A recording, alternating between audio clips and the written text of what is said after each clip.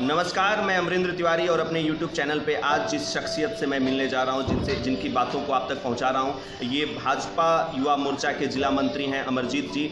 सबसे पहले तो सर, स्वागत है इस कार्यक्रम में। आज जो कि, आज जो आयोजन था, बिहार स्टेट चैंपियनशिप था बॉक्सिंग का। और सर, सबसे पहले तो आप ये बताइए कि युवा पीढ़ी जो है, गेम की तरफ़ जो है काफ़ी प्रोग्रेसिव है। बहुत सारा देख रहे हैं, पेरेंट्स का भी आज झुकाव गेम की तरफ़ आ रहा है। तो किस तरह की संभावनाएँ आपको युवा पीढ़ी में नज़र आती है? सबसे पहले तो जय श्री राम। सभी को जी, आपने पूछा, बोला कि युवाओं के मतलब पेरेंट्स के मतलब खेल के प्रति झुकाव आ रहा है। बिल्कुल सही। आज के पेरेंट्स चाह रहे हैं कि हमारे बच्चे साथ पढ़ने के साथ साथ कुछ एक्स्ट्रा तौर पे करें कि वो देश के प्रति जो जागरूकता है कि हमारा बेटा देश के लिए कुछ करे।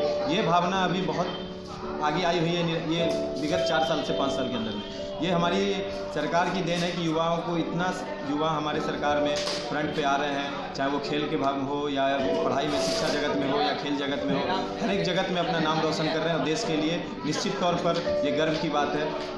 अमरजीत जी, आप एक चीज़ बताइए कि पहले देखा जाए, अगर विश्व के अनेक देशों में आप देखें तो भारत की आबादी काफ़ी ज़्यादा है, पर मेडल की संख्या यहाँ कम है। तो क्या लगता है कि कहाँ मिस्टेक हुआ था? जी, ये बहुत बड़ी बात आपने कही कि सबसे बड़ी बात है कि देश में हमारी इतनी संख्या में मेडल कम है। निरंतर पिछली जो सरकार थी, वो खेल के प्रति रुचि नहीं था, उनका इंटरेस्ट नहीं था, उनके जगत में खेल को बढ़ावा नहीं दिया जा रहा था। तो वो हमारे देश के लोग आगे नहीं आ रहे। टैलेंट बहुत है हमारे देश में, लेकिन वो उनका टैलेंट है ना, वो निखर नहीं रहा था। हमारी सरकार जब से आई है, जो टैलेंट जो इस बंदे का टैलेंट है, वो टैलेंट आ रहा है फ्रंट पे, दिख रहा है कि नहीं इसमें? स्कोप है, ये टैलेंट ये बंदा आगे कुछ कर सकता है, उनको जगह मिल रहा है खेलने के लिए, वो खेल रहे हैं और निश्चित तौर पर खेल के देश का नाम रोशन कर रहे हैं। और हमारी सरकार ने विगत चार साल के अंदर में बहुत सारे मेडल हमारे प्लेयर ने लाए हैं देश के लिए। सभी को मेरी ओर से बहुत बहुत बधाई। आपके जो खेल मंत्री हैं वो खुद एक खिलाड़ी हैं। क्या कितना अंतर पड़ता है जब एक खिलाड़ी जो है खेल मंत्री के पद पे हैं और खिलाड़ियों की भावनाओं को अच्छी तरीके से समझते हैं? तो कितना असर पड़ता है बिल्कुल। एक जो खेल मंत्री हैं हमारे केंद्रीय खेल मंत्री राठौर जी वो स्वयं एक प्लेयर हैं। वो जानते हैं कि प्लेयर का कष्ट क्या है दुख क्या है और प्लेयर क्यों नहीं आ रहे हैं खेलने के लिए। टैलेंट तो बहुत भरा पड़ा हुआ है भारत में। हमारे एक अनेकों टैलेंट है। सारे टैलेंट के कूट कूट के भरे लेकिन वो उनका टैलेंट सही जगह पे आ नहीं रही थी। जो खेल मंत्री हमारे राठौर जी, वो एक स्वयं एक प्लेयर है। प्लेयर होने के नाते वो जान रहे हैं दर्द की प्लेयर का क्या समस्या है। वो उन समस्याओं को हल कर रहे हैं ताकि हमारे प्लेयर ज़्यादा से ज़्यादा आए और निरंतर हमारी सरकार में खेल को बढ़ावा दिया जा रहा है और ये खेल हमारे बढ़ावा दिया जा रहा है। अमरजीत जी, सर, एक चीज़ मैं पूछना चाहूँगा, यहाँ पे पॉइंट आउट करना चाहूँगा कि जो ग्रामीण क्षेत्र हैं, वहाँ से भी प्रतिभाएँ आ रही हैं। तो सरकार को और ग्रामीण क्षेत्रों में ज़्यादा से ज़्यादा प्रतिभाएँ आएँ। यहाँ पे बहुत सारे पेरेंट्स का जो है, एक माइंडसेट भी पहले हुआ करता था कि हमें बच्चे को डॉक्टर इंजीनियर बनाना है लेकिन अभी जो है कुछ माहौल बदला है। तो ऐसी स्थिति में आपको क्या लगता है कि सरकार को जो नीचे तबके की जो जहाँ तक पहुँच नहीं थी पहले आपके अब जो है वो किस तरीके से सरकार को वहाँ तक मदद करनी चाहिए वहाँ तक पहुँचना चाहिए? बिल्कुल सही बात आपने कही कि गाँव के स्तर पर खेल को बढ़ावा दी। देखिए एक आज जो हमारे ग्यारहवें ये राज्य स्तरीय बॉक्सिंग प्रतियोगिता हुआ ये एक ज़िले के भागलपुर ज़िले के पीरपैंती प्रखंड के बारह हट पंचायत में हो रही है। एक पंचायत स्तर पर राज्य स्तरीय टूर्नामेंट का आयोजन किया जा रहा है। आप देखिए कि कि कहाँ से सारे मतलब राज्य, जिला के प्लेयर यहाँ आए हुए थे, दो दिन से रुके हुए थे बच्चिया बच्चे लोग आए हुए थे, सभी ने अच्छा खेल दिखाया।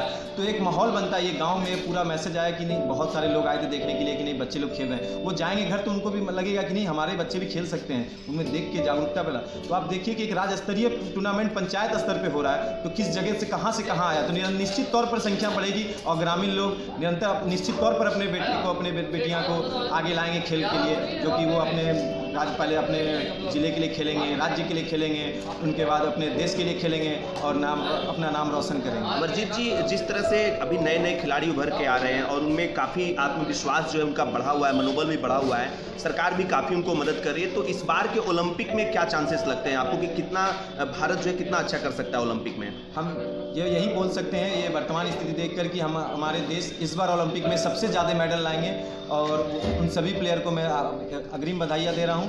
और निश्चित तौर पर यह ओलंपिक जो आने वाली होगी, हमारा भारत देश बहुत ज़्यादा संख्या में मेडल लाएँगे। ये हमारी सरकार की देन है, हमारे खेल मंत्री राठौर जी की देन है कि आज ये खिलाड़ी लोग जो हैं इतने लोग बढ़ के आए हैं और खेल के प्रति उनमें सकारात्मक विचार आई है और अच्छा मैं मैं एक चीज़ और पूछना चाहूँगा अंत में आपसे कि जो अभी अभी जो माहौल बना है देश में खेल के प्रति जो है युवा पीढ़ी का बहुत ही ज़्यादा लगाव हुआ है इसमें अनुशासन का क्या रोल है? अनुशासन किस तरह से उनको आगे ले जाने में मददगार साबित होता है? बिल्कुल अनुशासन हर एक चीज़ में बहुत ज़रूरी है। बिना अनुशासन के आप अच्छा प्लेयर है अगर अनुशासन आप में नहीं है तो आप अच्छा एक खिलाड़ी नहीं हो सकते। खेल खेल के प्रतिभा के साथ साथ अनुशासन होना एक बहुत बड़ी बात है। मैं सभी से यही करूँगा कि आप खेलिए, अनुशासन में रहकर खेलिए, अपने पेरेंट्स की रिस्पेक्ट करें, आपके पेरेंट्स जो चाहते हैं, आपके आपके मतलब आपकी जो क्षमता है, आप अपने क्षमता के हिसाब से कार्य करें। लेकिन क्षमता के साथ साथ पेरेंट्स की भी एक मतलब होती है इच्छा कि नहीं, मेरा बेटा ये करे, वो करे। आपको जिस चीज़ में रुचि है, आप उस जगत में जाइए, उस जगत में अपना नाम रोशन कीजिए। अगर आपको खेल में जगह आपको क्रिकेट पसंद है क्रिकेट खेलिए, कबड्डी पसंद है, कबड्डी खेलिए बॉक्सिंग पसंद है बॉक्सिंग खेलिए फुटबॉल पसंद है फुटबॉल खेलिए। और साथ साथ में खेल के आप, मैं यही कहना चाहूँगा सभी भाइयों से कि खेल के साथ साथ पढ़ाई भाई मेरे बहुत ज़रूरी है। पढ़ना, आप अगर खेल रहे हैं, अच्छी बात है पढ़ाई बहुत ज़रूरी है। आप कहीं भी जाएँगे, अगर शिक्षा आप में रहेगा तो आपकी खुद ब खुद दिख जाएगा, अनुशासन बंदे में है। तो मैं चाहूँगा ये भाई कि आप खेलो, खूब खेलो, खूब मेडल लाओ देश के लिए, खूब नाम रोशन करो, लेकिन पढ़ाई ज़रूर करना मेरे भाई। तो ये थे हमारे साथ अमरजीत जी, जो कि भाजपा युवा मोर्चा के जिला मंत्री के रूप में हैं। बहुत बहुत धन्यवाद, सर। आपका कीमती समय हमें मिला और तमाम लोगों को जो है खेल के विभिन्न पहलुओं के बारे में उन्होंने बताया और इन्होंने बताया कि आने वाले समय में भारत का जो चांस है, मेडल का जो चांस है खिलाड़ियों का ओलंपिक में काफ़ी बेहतर हो सकता है। तो अगले दिन किसी और अतिथि के साथ आपके सामने होंगे उपलब्ध। तब तक के लिए नमस्कार। जय हिंद, जय भारत।